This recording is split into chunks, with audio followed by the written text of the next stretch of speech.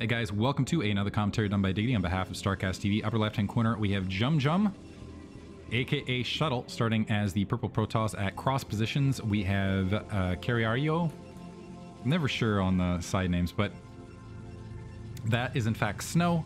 So we're going to have a PvP lineup between these two. Should be a fun one. It's going to be on Polypoid cross position, which means we could have a really fun macro match between these two.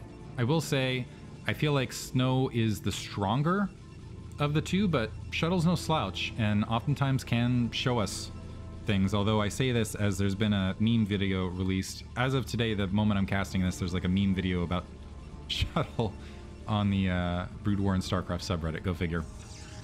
Pylon opener, nothing too crazy on either side. It, I do want to see a PvP heads up where it just ends up being. I don't know that we're going to see it here.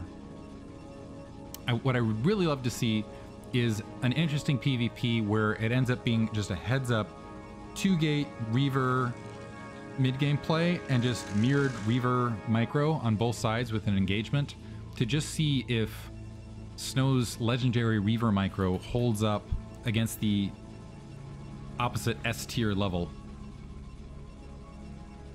Gateway dropped for both players, long standard build. I would be a bit surprised on the four player map if they do option for the uh, two gate build. Yeah, it looks like they're going to drop assimilator both sides. So everything, again, mirrored right off the bat. I do also want to note that on Polypoid, since you got the natural expansion, you do have kind of the interesting fallback areas. Even going from cross positions, because even if you're going all the way around, you kind of end up on either the high ground here or some sort of... So point being, I feel like there's there's interesting play that can happen on Polypoid in comparison to, I don't know, trying to think of a map that's just like not interesting in the center of the map, center of the map altogether. Anyway, Cybernetics core warping. Somehow shuttle a little bit behind on supply. I don't know if that's due to mineral boosting or what. At these days, or just maybe the favored spawns that goes out of my level of play, knowing which spawn is favored for Protoss mineral production. We do have an initial scout now moving out for shuttle. Looks like he's maybe going to go across. No, he's just going to go up right hand corner for it. So he's going to go for a clockwise scout. Snow also making his way out with his initial scouting probe. His zealot is going to go ahead and blockade the ramp behind him to try to deny information. He's also going clockwise a little bit later, so he's going to have a touch less information. We do see a range skip. Never mind, there's the range kicking in, but a, a little little time later there. Not enough that it's actually going to make a significant difference, but uh, it is there. Also want to note that there was a Zealot skip on shuttle side of the map, so a few more minerals going to be in his pocket as a result. Maybe one additional probe, which we're seeing on the scoreboard already. Dragoon swapping positions. Just the Dragoon being out there gives a good amount of information, but Shuttle, yeah, not going to get any sort of info. The Dragoon on the opposite side looks like, yeah, and I, is Snow even going to try it, is the question. So he's trying to, oh, he's going for a cutoff lane to blockade the probe. I believe that's what this is. I think this is turning into a linebacker situation where if the probe tries to sneak out of position and make its way around, this probe is going to go and go for uh, and try to get in its way to open up the Dragoon shot. This Dragoon moving its way out, and never mind, because Shuttle making his way around, I thought it might open up a scout. Instead, now Snow has his probe scattering, trying to get back alive. And is it going to happen? One shot away. Oof. So a, an interesting thought, but instead is punished for it. The Dragoon humiliated, returning back home. Shame on you. Led to your friend's death. Uh, looks like we're seeing a one-gate robo build, by the way, from Shuttle, opposite side mirror builds. So I might actually get my wish here. So despite the Zealot skip in the initial play, we are seeing both players, at least at the initial stages here, going for identical uh, identical build orders, although Shuttle a little bit ahead, one because he took out a probe out on the field, but also because he skipped a Zealot and got a little bit, got one additional probe out. Observatory first on both ends as well. The Dragoons out in the field missing this probe that is snuck through the lines. However, we have a Dragoon and a Zealot waiting, but I think it's going to be able to dive into that natural expansion and confirm a lack of natural there. So, well, maybe not. So sweeping back around. Sees two Dragoons at the very least, which at least signals that nothing screwy, but also might kind of give a good view of the overall troop count. Robotic support bay in comparison to Nexus here, so finally seeing a deviation in the overall build order. Robotics support bay coming out somewhat later. So Snow wanting to favor both information, getting the superior Reaver count that is going to put him economically behind, just in pure build order. Both players very much in the dark. Observers sneaking out on both directions. And now Snow lining up. And so this is going to be, so this Nexus, just about finished. So what do we want to call that? Sixth, seventh done? Random fraction. And Nexus just now being dropped for Snow, which is going to, I mean, it's just going to be a lot later. So his economy going to be heavily impacted. So advantage to Shuttle, and Snow's going to need to do something to follow this up to get an advantage. He is, I believe, going to be able to get that Observer in to get eyes to at least recognize that scenario as it is a Reaver follow-up from Shuttle. So Snow is comfortably going to be able to walk around with that Observer in his opponent's base. We do have a Shuttle. Feels weird saying a Shuttle. A troop transport. We got a troop transport with a Reaver alongside to attack Shuttle the player on the opposite side. Second gas is being spotted and also that active Nexus which lets Snow know, yeah, he's got to be aggressive at some point and do something with this. Shuttle observer able to walk over that edge, see that the Nexus isn't up. He's got to be smiling to himself, yes, I'm in a stronger position as a result. He hasn't tacked on a lot of tech to utilize that two base advantage as of yet. He's still sitting on the two gateway count. A little bit of a skirmish outside, and ooh, Snow able to get at least two Dragoons out of that. And the Reaver pushing, already pushing some of these troops back. Is he going for shuttle speed behind this? Yes, he's got shuttle speed upgrading as well. The Observer kind of checking other corners. We do have a troop transport for shuttle on the opposite side with his Reaver. But he's going to be... I'm curious where the rest of his attack force is. This is cross positions, keep in mind. So it is a, a ways to walk for Snow, so he's going to have to get some critical shots off. Two Zealots scooping up, so it looks like he is going to go for some sort of attack across the edge. Just now trying to get a shot off the pylon. Does manage to get some burst fire on that Reaver. But just going to take... It looks like, yeah, just trying to take that forward pylon out. Maybe to open something up. Grabbing his second gas down to the natural expansion, which is now active. So that does put Shuttle in the red here. So despite having the superior... Ooh, big shot on that forward Dragoon. Interesting, didn't do full splash there. Took that hit. And Snow moving out on the map with an additional probe. I wonder if he's thinking of, is he going to sneak something or does he just want to use this to go for straight up scouting? The pylon block is giving a good amount of time here for Snow to catch up in the supply count, but you can see the additional gateways now being dropped from Shuttle. He's like, well, okay, I can't build anything. I might as well get some more infrastructure down in between. That single so that single pylon getting wiped out providing a little bit of buffer. But still, Citadel of Adun drop behind this. Shuttle still uh, with an advantage, although as the supply block comes, so Snow still down three workers, but otherwise about even in supply. And the probe, I'm curious about this probe. What its story is. A Reaver actually sneaking out along the exterior edges. I don't know if Snow had that spotted or not. Double Reaver out on the front, taking some shots. We do have a pylon warping in at the 3 o'clock, so let's see if Snow is able to get wind of this. He is somewhat distracted with his attack force on the front. Ooh, lost a lot of Dragoons in that engagement. One Reaver extremely weak. Yeah, I don't think he saw this Reaver because he was concentrating on the front, and so Shuttle able to sneak in and get a huge hit on the probe lines. Wow. Completely decimating that army. And now the Reavers, yeah, pushing forward. Oh, one of them getting wiped out and things looking ugly now. Not good. So, and the Reaver's still active for Shuttle.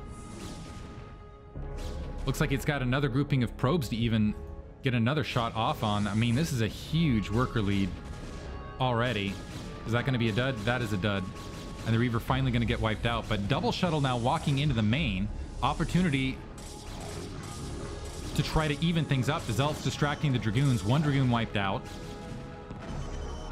If someone can get back in this with Reaver play alone, I would say, yes, Snow's the guy to do it. Although he's only got the single Reaver remaining. The Dragoons, with those troops distracted, walking into the natural expansion, trying to push the issue, because otherwise it's basically GG. But the double Reaver now walking to that natural expansion, the Observer wiped out as well. And Snow left with close to half the workforce, down 30 supply at the end of all of those engagements, which is unfortunate. So starting to make his way up, the Reaver dropping along that edge. I am shocked that Shuttle gave him the opportunity position, but it looks like it is going to be a dud. I'm actually curious if Flash figured out a way to make the... Because one thing I saw in the games with Flash, where he was playing Protoss as random, is for whatever reason, he didn't get a lot of duds. And I'm wondering if he's figured something out with Reaver Micro to prevent the duds from happening, which would completely blow open the game for Protoss altogether, if that is in fact the case. Shuttle now getting aggressive out on the map, to get some free Dragoon kills over the high ground. Another speed shuttle making its way out with the double reaver, maybe to go for a counterattack. We do have an observer still spotting in the base, but we got four Dragoons there. Ooh, not a lot of defenses there at the natural expansion, though. Instead, the shuttle going to engage, try to buy some time for Snow in the front. He's getting some nice hits out of range as the Dragoons are pushing forward, really slowing down that attack force and dissuading just a full-on game-ending engagement from Shuttle overall. So misread where that was headed. Needed to keep himself alive before anything else. Probe out on the front to go get wiped out. Lack of observers because this robotics facility has been so active producing Reavers and Shuttles. And Shuttle just making sure that that third wasn't grabbed. Again, Snow being drawn back to try to defend home base. Significantly down in supply. Probe walking up to try to look at the pure troop count. Three Reavers on the low ground. But still a much larger Dragoon force. And I'm also surprised that Shuttle isn't using this opportunity to try to expand behind this. Because he, instead, walking into the natural expansion, the worker count is somehow evened. Because Shuttle stopped building workers, maybe feeling he was in such a strong position that he could just roll Snow over. But Snow, through just some Reaver engagements and fanning out, has actually managed to slow that attack forward. Still a huge supply lead from Shuttle. And he's... And Snow's basically boxed into his natural expansion. I'm kind of... Ooh, Dark Templar. The Protoss auto counter, uh, counter maneuver, the kind of comeback play. We do have the Templar Archives. Missed that happening in the background. Somehow Snow, yeah, able to get that worker count back up and sneak some DTs out. Also going to take some distractionary pot shots. Some Dragoons have managed to fold out as well. Sneeze commentary in here. But yeah, the DTs, let's see if the, the shuttle gets wiped out before it's even able to drop though, is going to be the next question. Depending on the angle here. So we'll keep an eye, we'll try to keep an eye on the front. We'll also try to keep an eye no observers here, so at least a Dark Templar are going to be able to make its way out. The observer pinned here. Cannon lands, but it's quickly going to get wiped out. But an observer, two observers overhead. So nothing happening there. While there was a distraction, though, Reaver's getting wiped out on the front. Still a 30 supply lead for Shuttle overall, but he has not grabbed an additional base. Dragoon's actually engaging from the rear. And now Shuttle, yeah, he's denied this third, but he hasn't grabbed his own. Still a 40 supply lead because of the differential and all that economic damage early, but Snow, oddly enough, has the tech lead with his Reavers. And Shuttle now evacuating, and this gives an opportunity potentially for Snow to maybe grab his own third, maybe go for a counterattack, some High Templar fielded right there, and Shuttle still playing where is... Okay, he's got some Reavers out here. He went basically Gateway Man. He doesn't even have the Templar... Okay, does he have a Templar Archives anywhere? No, Templar Archives is just coming online. So way behind in the overall tech lead. Snow wiping out the troops here at the 6 o'clock. And that might be some well played... Ooh, Reaver's getting caught.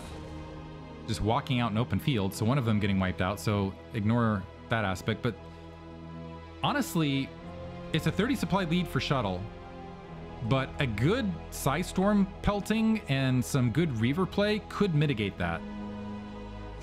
Ooh, and losing your Reavers wholesale like that definitely could mitigate that.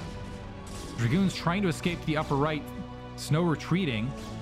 Might lose, what, six, six, seven, no, six Dragoons for that, but that's well worth it.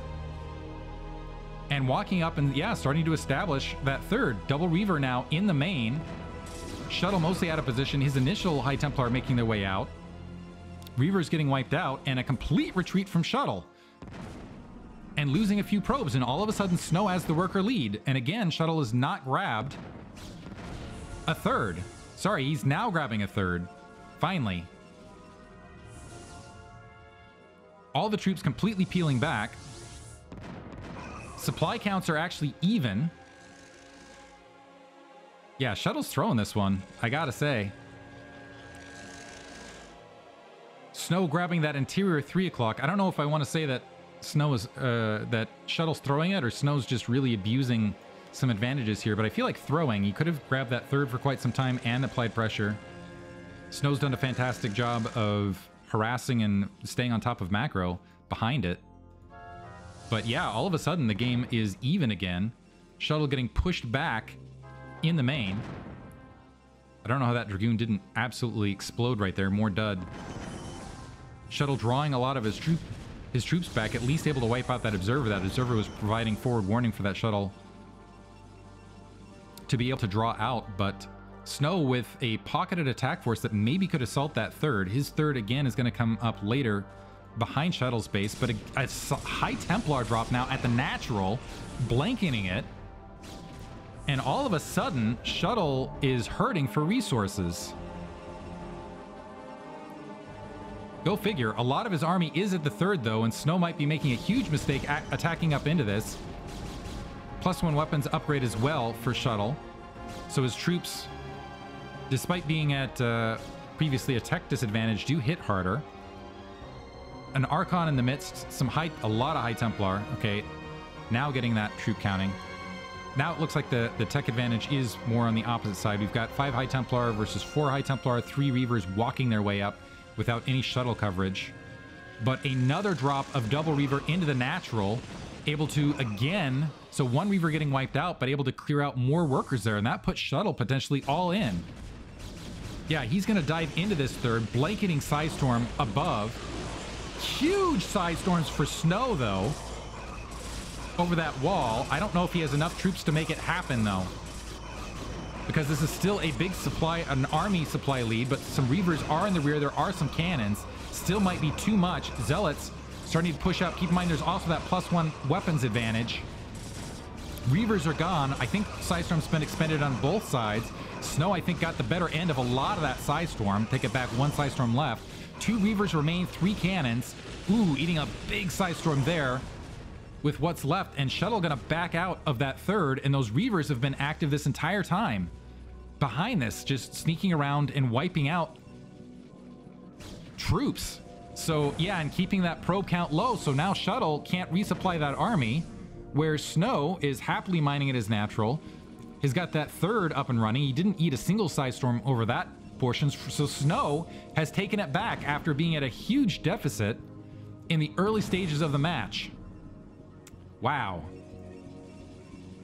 The memes are real. Seeing it with our own eyes here. Uh, yeah, so Shuttle... Ooh. Shuttle now in a lot of trouble.